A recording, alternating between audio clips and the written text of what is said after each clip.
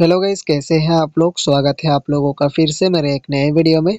आज मैं आप लोगों को बताऊँगा गाइस कि इन्फिनिक्स नोट 40 प्रो फ़ोन में आप लोग मैसेज, नोट, सेंडिंग प्रॉब्लम को कैसे सॉल्व कर सकते हो।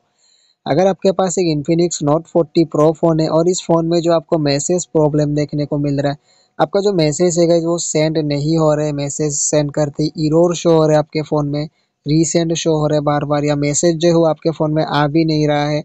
तो कैसे आप लोग जो मैसेज से रिलेटेड इन सभी प्रॉब्लम्स को सॉल्व कर सकते हो? तो आज के वीडियो में मैं यही बताऊँगा गाइस आप लोगों को, इसलिए वीडियो को लास्ट तक देखिए। और अगर वीडियो पसंद आए वीडियो को लाइक कर दीजिए और चैनल को भी सब्सक्राइब ज़रूर से कर लीजिए। तो चलिए गई वीडियो को स्टार्ट करते हैं।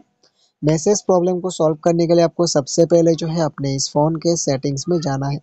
सेटिंग्स में जाने के बाद थोड़ा सा नीचे स्क्रॉल डाउन करेंगे तो आपको एक ऑप्शन देखने को मिलेगा इस ऐप मैनेजमेंट का। तो इस ऐप मैनेजमेंट के ऑप्शन पे आपको क्लिक कर देना है।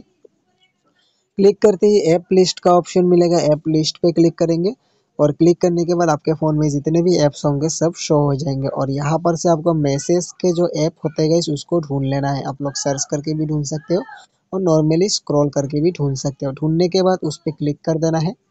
क्लिक करने के बाद स्टोरेज एंड केची का ऑप्शन आएगा। स्टोरेज एंड केची पे क्लिक करेंगे। क्लिक करते ही क्लियर स्टोरेज का ऑप्शन आएगा। क्लियर स्टोरेज पे क्लिक करेंगे। ओके का ऑप्शन आएगा। ओके पे क्लिक कर देंगे। ऐसा करते मैसेज का जो भी डाटा केची फाइल्स वगैरह होते हैं, वो क्लियर हो जाएँगे। जो भी सेटिंग्स वगैरह होते हैं, वो रीसेट हो जाएँगे और आपका मैसेज प्रॉब्लम भी सॉल्व हो जाएगा। अगर फिर भी सॉल्व नहीं हो रहेगा इस तो आपको जो है अपने एक बार नेटवर्क सेटिंग्स को रीसेट कर देना क्योंकि नेटवर्क नहीं होने से भी आपका मैसेज सेंड नहीं होता है। और आप लोग जो है कुछ मैसेज को डिलीट कर दीजिए, क्योंकि मैसेज का जो ये बॉक्स है कैसे अगर फुल हो जाएगा मैसेज से, तब भी आपके फ़ोन में मैसेज वगैरह नहीं आएगा। तो यहाँ पर से कुछ मैसेज को आप लोग डिलीट कर दीजिए डिलीट करते ही आपका मैसेज आने लग जाएगा।